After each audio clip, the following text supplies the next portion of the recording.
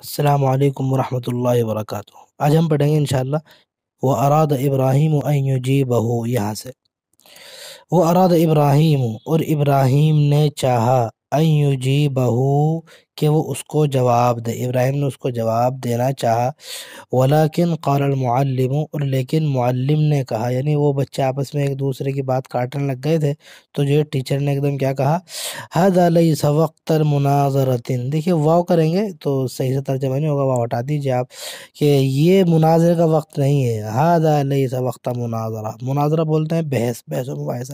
یہ بحث کا وقت نہیں ہے۔ وقد بقی کثیر من الطلبہ ابھی تو بہت سے طلبہ رہ چکے ہیں بقیہ باقی رہ جانا۔ کثیر من الطلبہ بہت سارے طلبہ رہ رہے ہیں۔ ابھی تو سب سے پوچھنا باقی ہے کہ کون کیا بنے گا، سب بتائیں گے۔ اسی لیے یہ جو ہے لڑنے جھگڑنے کا، بحث و مباحثہ کا وقت نہیں ہے۔ وماذا تقول یا قاسم؟ ٹیچر نے جو ہے قاسم کو کہتے ہوئے کہا کہ تم کیا کہتے ہو؟ تمہاری کیا رائے ہے؟ وا اور ماذا؟ کیا تقول تم کہتے ہو؟ یا قاسم، اے قاسم۔ قال قاسم قاسم نے کہا قاسم اپنا لگے جو ہے ایٹیٹیوڈ دکھا رہا ہے، کہہ رہا ہے، انا لا احب ان اکون سائقا. میں نہیں چاہتا کہ میں ڈرائیور بنوں، کہ میں ہو جاؤں سائقن ڈرائیور، کہ میں نہ تو ڈرائیور بننا چاہتا ہوں اور ربانن یا ملاح یعنی نہ میں چاہتا ہوں کہ میں ملاح بنوں، او طبیباً، اور نہ ڈاکٹر۔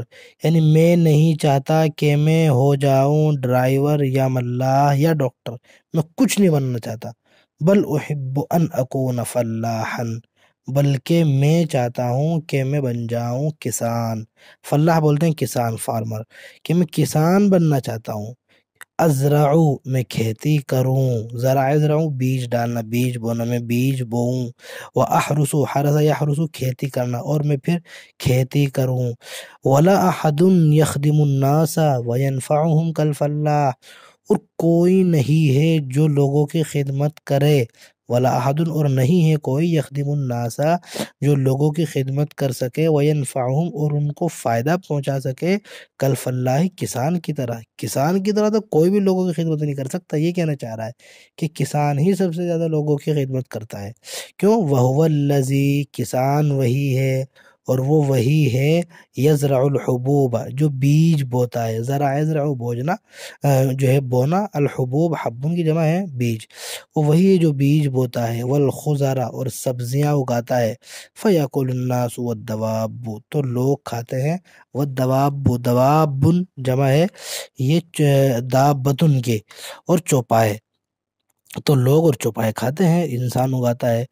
وقال سلیمان، اور سلیمان نے کہا، انا احب ان اکون تاجرن میں چاہتا ہوں کہ میں ہو جاؤں تاجر، کہ میں تاجر بننا چاہتا ہوں۔ میں تو بزنس مین بننا چاہتا ہوں۔ لی دکان کبیر میری ایک بڑی دکان ہو۔ اب ہو کا ترجمہ خود ہی کریں گے ہم، کیونکہ بات وہی چل رہی ہے۔ لی میری ہو، دکان کبیر، ایک بڑی دکان، فی سوق کبیرتن ایک بڑے بازار میں۔ دیکھیے موسو صفت ہے سوقن کبیرہ سوقن مونس یوز ہوتا ہے۔ اس لیے وہ جو ہے، یہ مونس سماعی ہے، تو صفت بھی کبیرتن آئی ہے۔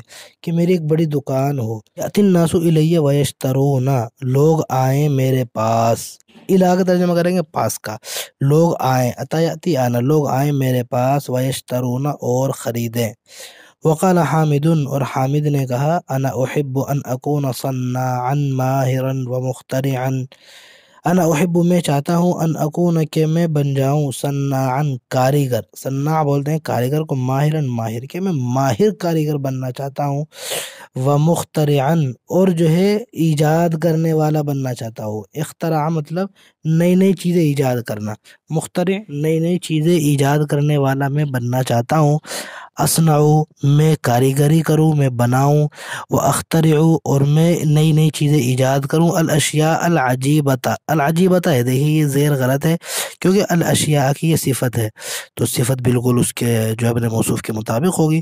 اور میں جو ہے ایجاد کروں عجیب عجیب چیزیں۔ وقال خالد اور خالد نے کہا، انا احب ان اکون جندین قوین میں چاہتا ہوں کہ میں طاقتور فوجی بنوں۔ جندین قوین موسو صفت ہے کہ میں طاقتور فوجی بننا چاہتا ہوں۔ اقاتل الکفار، میں جنگ کروں گا کافروں سے۔ قاتل قاتل جنگ کرنا، لڑنا۔ الکفار کافر کی جمع ہے۔ میں جنگ کروں گا کافروں سے والمشرکین اور مشرقین سے۔ وہ اجاہدو فی سبیل اللہ اور میں جہاد کروں گا اللہ کے راستے میں سبیر اللہ موسو صفت، اللہ کے راستے میں مشرقین دیکھیے اوقاتلوں کا مفول ہے اور یہ چونکہ جمع مذکر سالم ہے۔ جمع مذکر سالم کا اعراب آپ جانتے ہیں وہ کی بجائے یا کی شکل میں آتا ہے۔ حالت نصبی میں اگر اسے لانا ہو۔ وقال عبد الکریم اور عبد الکریم نے کہا، انا احب ان اکون غنی میں مالدار بننا چاہتا ہوں۔ کبیرن بڑا، میں بہت بڑا مالدار بننا چاہتا ہوں۔ البس ما احب میں پہنوں گا جو میں چاہوں گا۔ کہ میں تو بس یہ بننا چاہتا ہوں کہ میرے پاس خوب پیسہ ہو، مالدار ہوں، میں جو چاہوں پہنوں۔ وہ آکل ما اشتہی، جو چاہوں کھاؤں، ٹھیک ہے؟ آکل میں کھاؤں، ما اشتہی، جو بھی میرا من کرے۔ اشتہا، اشتہی، خواہش کرنا، چاہنا۔ وہ اسافر اور میں سفر کروں۔ الا عین اریدو؟ الا عین جہاں کا بھی اریدو، میرا ارادہ ہو۔ میں جہاں بھی چاہوں میں سفر کروں۔ ودائمن عندی مال کثیر اور ہمیشہ میرے پاس بہت زیادہ مال ہو۔ اب ہو کا ترجمہ خود ہی کریں گے۔ یعنی اور میرے پاس ہمیشہ بہت زیادہ مال ہو۔ وہ اسکن اور میں رہوں فی قصر کبیر، ایک بڑے جو ہے، محل میں، حویلی میں گویا میں رہوں۔ وضحك الاولاد من قول عبد الکریم ضحکہ ہنسنا الاولاد بچے اور بچے ہنس پڑے۔ من قول عبد الکریم عبد الکریم کی بات سے۔ عبد الکریم کی بات سن کر جو ہے بچوں کو ہنسی آ گئی، بچے ہنس پڑے۔ تو ظاہر سی بات ہے، جب سب بچے ہنسیں گے تو اسے خود ہی شرمندگی ہوگی۔ تو کہہ رہے ہیں وہ خجیلا عبد الکریم اور عبد الکریم بیچارہ وہ جو ہے شرما گیا۔ خجیلا شرما جانا۔ عبد الکریم جو ہے وہ شرما گیا۔